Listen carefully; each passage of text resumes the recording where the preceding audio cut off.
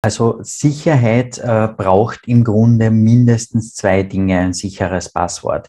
Das eine ist mal die Länge und die Komplexität.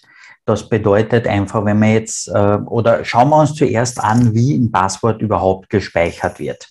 Normalerweise äh, jedes Mal, wenn ich mich auf einer Webseite anmelde, wird das Passwort nicht im Klartext gespeichert. Das heißt, der Betreiber der Webseite kann es nicht lesen und ein Angreifer, der die Webseite hacken würde, kann es auch nicht lesen.